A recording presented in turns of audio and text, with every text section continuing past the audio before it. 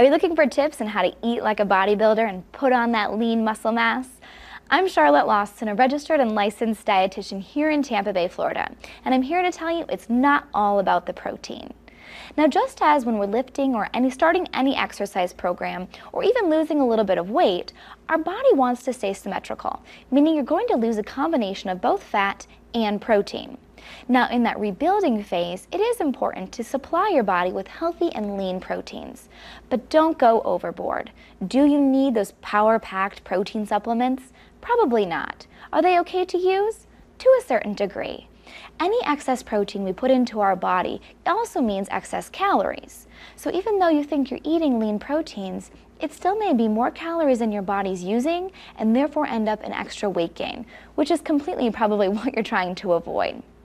Now also keep in mind higher protein diets do require more fluids. We put a little bit of extra strain on our liver and our kidneys, so we need to have that extra fluid to help those organs out that filtering process.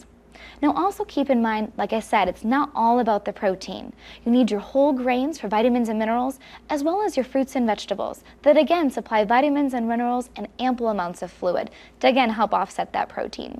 So a combination of lean proteins like your fish, lean chicken, um, tuna for instance, or maybe your protein supplement, your whole grains, be it whole grain bread, whole grain pita, brown rice, and a good variety of colorful fruits and vegetables. This is going to help you put on the leanest, most health healthy body weight you can. And also, of course, check out that exercise program. Those are just a couple tips on how to eat like a bodybuilder. I'm Charlotte, and eat happy.